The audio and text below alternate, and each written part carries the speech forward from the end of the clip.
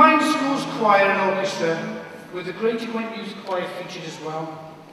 Please give a... Whoa! Sorry, I didn't mention you, not did I? You've been on already. Under the director, Mr. Alison Jones, give your children a great big hand.